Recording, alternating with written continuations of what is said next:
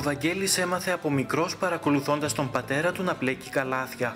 Οι γυρεότεροι του χωριού φεύγουν σιγά σιγά για το μεγάλο ταξίδι και ο Βαγγέλης το έχει βάλει σκοπό να μην χαθεί η τέχνη του χωριού του.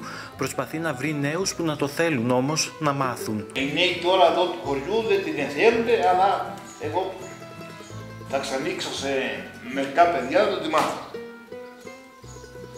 Να μην χαθεί.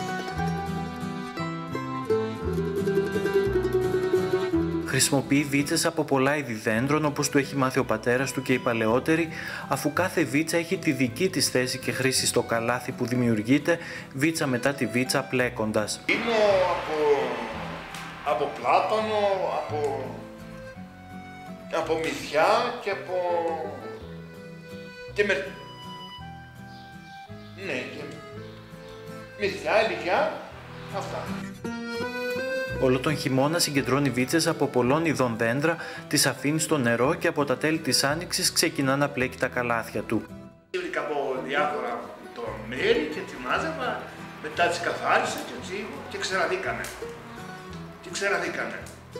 Και μετά που ξαναθούν καλά, όποιοι θέλουν να, να μπλέκονται, τις βάζουν στο νερό. Τα παλαιότερα χρόνια ολόκληρο το χωριό είχε ως κύρια απασχόλησή του το πλέξιμο καλαθιών. Καθένας αναλάμβανε ένα κομμάτι της δουλειάς για να πηγαίνει η δουλειά πιο γρήγορα, αυτό που ονομάτισαν οι οικονομολόγοι ως καταμερισμό εργασίας.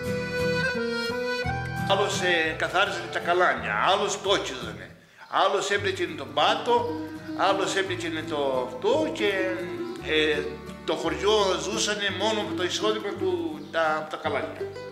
Σε εποχής. Από πέρυσι ο Βαγγέλης δείχνει σε τουρίστες, ντόπιους και περαστικούς την τέχνη του και προσπαθεί χρόνο με το χρόνο να γίνεται καλύτερος.